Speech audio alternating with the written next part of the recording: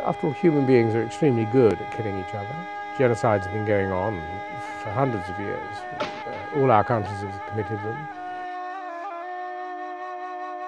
We have been receiving, for many months now, continued reports of massive breaches of international humanitarian law and human rights in Bosnia. These include reports of mass killings, torture, rape, and the unacceptable practices that are referred to by the equally unacceptable expression ethnic cleansing.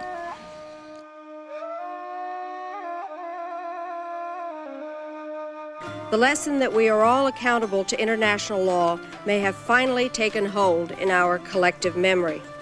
This will be no victor's tribunal. The only victor that will prevail in this endeavor is the truth. I've never been an optimist about this part of the world, but this is a historic step forward today. The war crimes issue was not forgotten in Dayton. On the contrary, never before in a negotiation has an issue like that had such a prominent place. Today we are the only international tribunal with no fugitives at large. Starting from nothing and building up a working, viable prosecutor's office, uh, issuing the first indictment against Karadzic and Mladic. Milosevic was trialed, but he was left to die and nothing happened. He's innocent. Tudjman and Izetbegovic died without being indicted prosecutors gave public statements. I just prepared the indictment, but he died. It's, it is something which I cannot accept.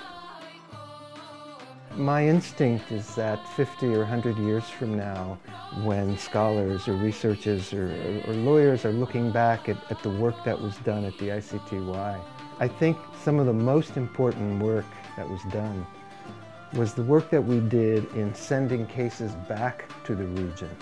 We helped promote and develop institutions which hopefully over the long term will serve to, to protect the fundamental rights of the citizens of the former Yugoslavia.